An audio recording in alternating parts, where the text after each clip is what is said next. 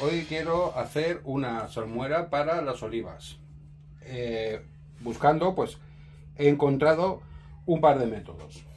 Uno, que nos da las medidas exactas, que es, aquí en este botecito tenemos 50 gramos de sal por un litro de agua. Esa sería la primera. La segunda es, ponemos un huevo,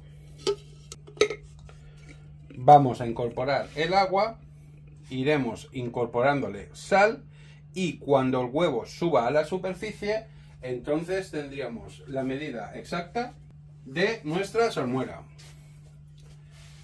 Utilizar siempre madera. No utilicéis nada metálico, más que nada porque estropea el agua.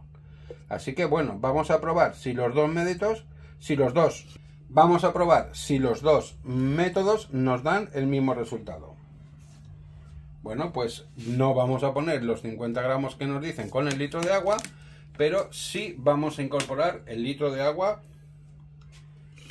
para ir echándole sal y moviéndola.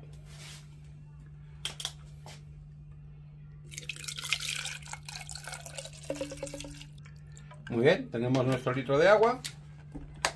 ¿Vale? Y ahora iremos incorporándole sal.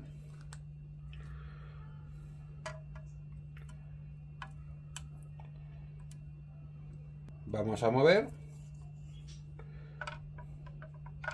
Espero que no se rompa el huevo.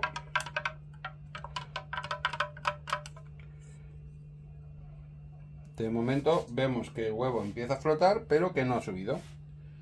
Vamos a seguir incorporándole sal.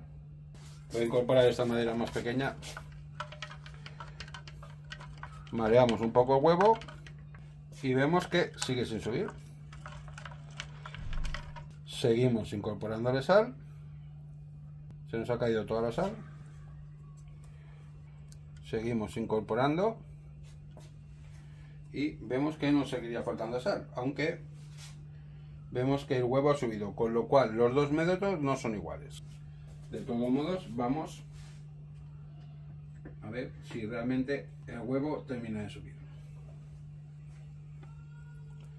Bueno, pues como veis, el huevo sí que ha subido, pero hemos empleado dos veces la cantidad. Como veis, el huevo está arriba, ¿vale? Pero hemos empleado dos veces la cantidad. Vamos a hacer una y una, pero yo creo que voy a emplear el método de un litro 50.